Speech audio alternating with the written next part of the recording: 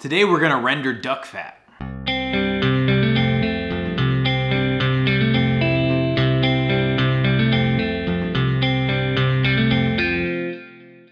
A few days ago, we harvested 13 male ducks.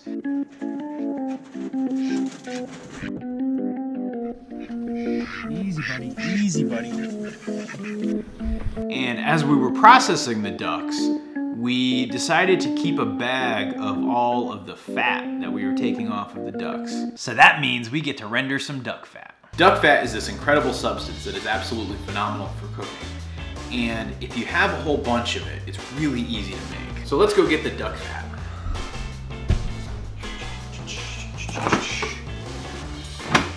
Inside the refrigerator. Actually our store of duck livers. I'm going to do something with that pretty soon. Here is all that duck fat. I mean, look at this stuff. There's a lot of it. I don't know, maybe feels like a two pounds, maybe two pounds of duck fat. Um, yeah, you can see there's actually some feathers. As I said in a previous video, we didn't do a great job plucking, but that's gonna be okay because when we strain the duck fat, the feathers will get sifted out. I'm gonna use our Dutch oven here to render the duck fat. First off, you're gonna wanna add a little bit of water here. You don't wanna add too much, but just a little bit. I wanna bring it up to a boil. The purpose of the water is to keep the duck fat from sticking and burning against the pan. Oh, I wanna show you too what I got on the back burner here. So, you might notice this pot here. So inside this pot, you'll see a whole bunch of duck feet.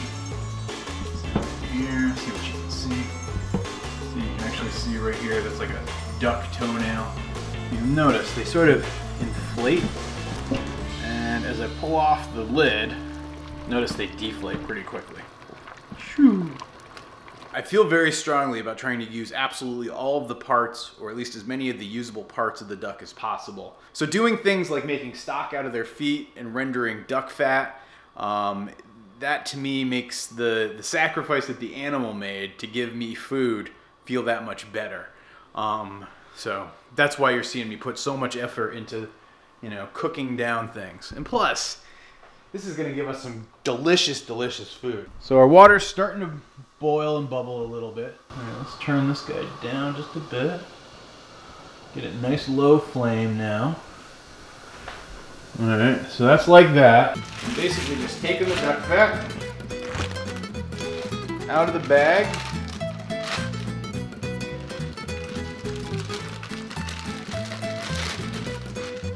Pouring it in. Trick is you want this low heat, very, very low heat. So you do not want to cook your fat. You just want to render it down and liquefy it. Look at all that duck fat, man. That's gonna be awesome. And yeah, like I said, don't worry about those feathers. We're gonna take care of those in a little bit. Ducks are difficult animals to pluck if you're doing this at home. So have a little empathy here for me. Alright, we're just gonna let that cook down. So while we're waiting for the fat to render down, let me show you this. Allison was out in the garden this morning and she harvested the delicata squash. Look at these things. Delicata squash is so good.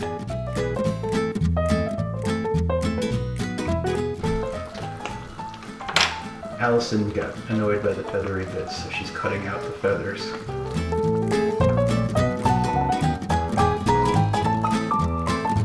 You should plan to stir it every couple of minutes just to make sure nothing sticks to the side of the pot. The idea is you want it to render, so it's cooking really, really slowly and essentially liquefying all the fats.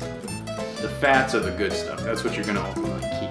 There's so much duck cooking in here right now. It smells like duck cooked in duck with a little bit of duck on top. So flavorful.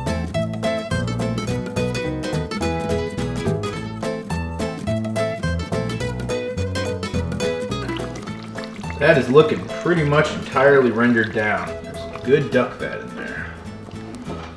All right. All right, so now that we've rendered down all the duck fat, it's time to pour it off. To pour it off, what I'm gonna do is pour it through this strainer and then pour it into this pot. I might end up straining it twice. We'll see how many of the feathers and crap that's in there and impurities uh, get through. A lot of people actually will use cheesecloth. Unfortunately, we do not have any cheesecloth, so we are improvising here today.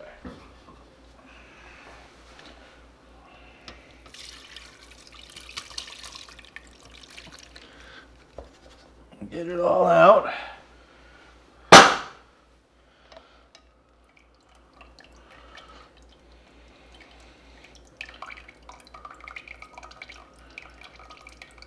Yeah, that worked pretty good. Would you look at that? That's some good duck fat we got going there. Now that I've strained it, I'm gonna pour to store it here. Hopefully I don't make a mess. And then I made a mess. Ugh. I am such a klutz. I swear to God.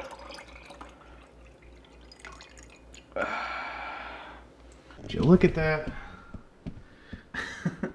I'm terrible at pouring stuff.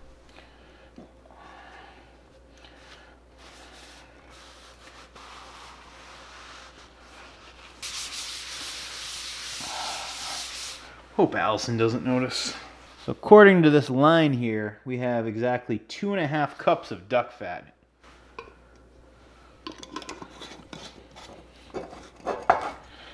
There you go. So there you have it. That's our duck fat. Fat of 13 ducks raised out on our pasture. If you're curious about us processing the ducks, be sure to check out this video. And if you're curious about other things, check out this. Uh, hope you've enjoyed this video, and uh, I'm gonna go make something with this wonderful duck fat. Maybe some french fries or something? I don't know.